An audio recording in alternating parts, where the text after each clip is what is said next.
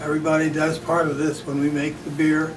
This isn't a question of one person doing it. Everybody gets in there and does each of the steps and we share all the thing, all the steps, the procedures we have. Whether it's bottling the beer or stirring the pot with the mead in it, or sterilizing things, or having directions from one or the other or many, or from our guide, was it Ally. But it's, it's the togetherness of this that's so much fun, and, and the product, of course. It's to celebrate something that we thought of doing, we did ourselves, we didn't think so much of ours doing it, but we thought, realized what fun it was to get a product like this, that's unusual for a group of older people who enjoy life and getting fun out of doing something different. Well, I think the, what I learned was how long it takes to do it.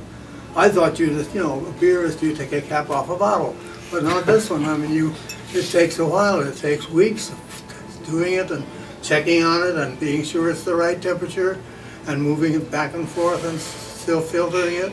And then eventually the joy of seeing the product when you actually fill the bottle and there it is. And you can hold it up and say, look, we did it. that was wonderful. That's a great experience. And how um, has this experience affected your life living here at Aspen Ridge? Well, it, it's hard to put in sentences when it's another thing I have done here that I've enjoyed so much doing. I mean, it's, it's probably one of uh, at least a half a dozen different things I do, and it's unique. It's different.